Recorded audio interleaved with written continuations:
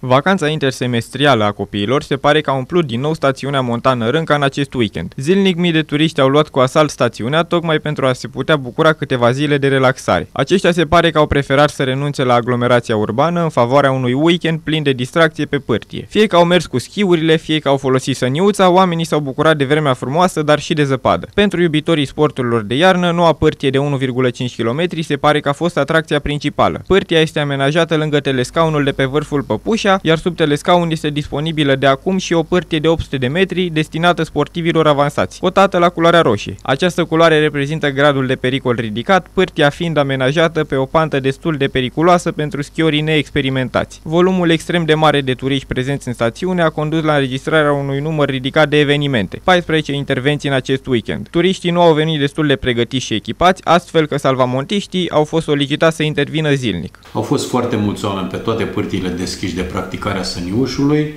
Am avut uh, echipaje de salvatori pe toate aceste pârtii, inclusiv în cele două cabinete medicale care deservesc aceste domenii schiabile, în cabinetul medical al stațiunii care funcționează 24 de ore din 24 în baza Salvamont, precum și un echipaj uh, dislocat special pe ambulanța Salvamont, care să intervină cu promptitudine la orice eveniment care s-ar fi întâmplat la nivelul stațiunii.